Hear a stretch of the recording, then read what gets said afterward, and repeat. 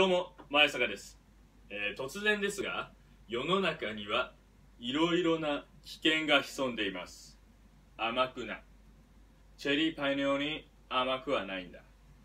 例えば道を歩いている時前から人がやってくる。このままではぶつかってしまうから左に避ける。すると相手も左に避ける。今度は右に避けるとまた同じ方向に。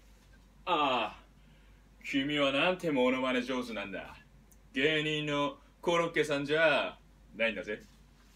しかしこの問題を解決する画期的な方法が存在します。一発ギャグ。一発ギャグをすることで全て解決です。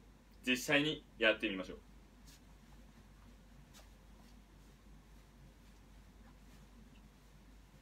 う人間マナーモード。はいこういう感じでやっていきますからね。うん。前坂がこれを思いついた時天才なんじゃないかと思ったけどネットで調べたら実際にやってる人がすでにいたよね。でも前坂は気にしない。道で歩いている時の危険はこれ以外にも存在します。例えば何もないようなところで不意にこけてしまう。ありますよね。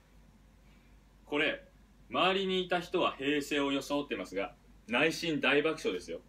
なぜかって？現に前坂がそう思っているから。ではこれの解決方法をお教えしましょう。あーかっきー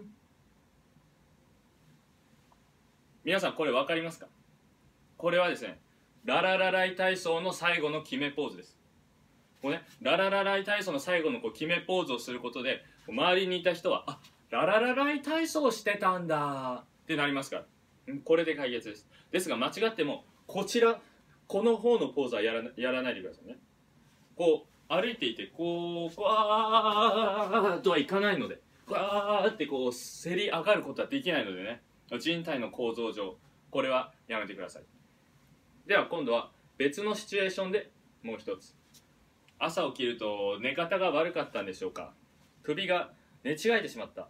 戻そうとしても痛くて戻らない。この解決方法は至って簡単です。